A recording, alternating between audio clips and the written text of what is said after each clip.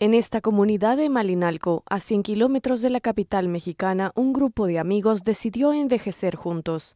30 adultos mayores construyeron al menos seis casas con el dinero de sus jubilaciones y ahorros para envejecer en La Guancha, un proyecto de vivienda comunitaria para aquellos recelosos de los asilos y que atesoran su independencia. El cohousing es eso, es una autoorganización de un grupo de adultos que generalmente son amigos, y que deciden vivir juntos, ¿no? Entonces tú dices, a ver, yo con, qué amigos me gustaría vivir cuando sea más grande.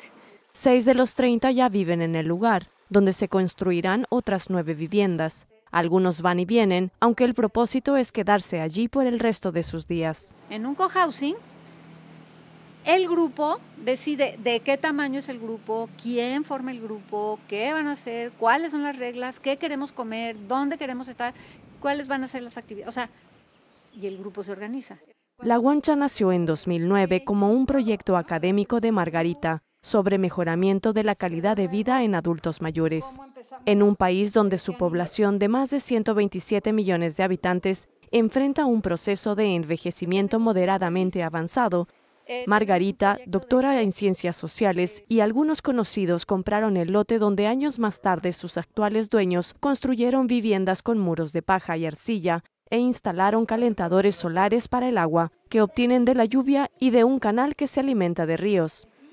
Tesha elabora el menú con ayuda de chefs y nutricionistas, y su esposo Francisco sistematiza las compras que se financian con el aporte de todos. También está a cargo del reglamento y del bar. ¿No? Porque no es lo mismo mantener una casa de este tamaño, unos jardines, una alberca solos, no podríamos hacerlo. En cambio aquí, si somos varias familias y todo el mundo cooperamos, pues entonces tenemos una mejor calidad de vida a un menor precio. Si educamos a los hijos para que vuelen, bueno, así los educamos, pues cuando vuelan, pues nosotros pues también tenemos que volar a nuestro, pensamos nuestro proyecto pues ya de vida, final de vida laboral y el cohousing se originó en la década de 1960 y se ha extendido a países como España y Uruguay. En México empieza a despegar con 12 proyectos.